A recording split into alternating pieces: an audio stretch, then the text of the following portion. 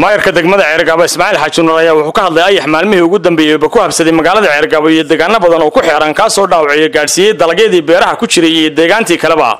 Wuxuuna dhaliilo arrintaasi ku saabsan maayarku u soo jeediyey wasiirka beeraha somalilan isagoo sidoo kalena halkaasi fariin dheer uga diray madaxweynaha somalilan muuse biixi cabdi. Maayarka degmada ceergaabo arrimaha ka hadlayaana wuxuu yidhi muddo iminka toddoba waxaa dalka haystay degmadan ceergaabo ayax xaaladiina waxay taagantahay halkii ugu dambeysay khudrad waa laga qustay wax walba waa laastay.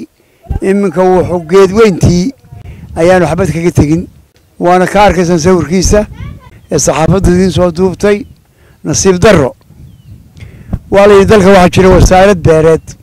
Si walbaa loogu soo qayliyey way ka dhegalaadahay ilahayna ka xidhatay lix gaari baa maali yimi dalxiis bay ahaayeen. Wax allaala wax shaqa ay qabteen ma jiro weliba ma ahayn waktigan wakti horey ahayd. Way soo dalxiiseenoo waa noqdeen.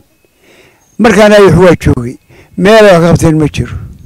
Mar labaad wasiirka beeruhu wax looga yidhi gurtida. Wuxuu yidhi sanaag beeraba ma leh. Marka waxa weeye macnuhu awalunbaa beera leh meel kale beera ma leh. Waa nasiib darro. Waxaan leenahay madaxweynaha haddii uu meel gooniya u yahay dee wasiir hanaloo sheego.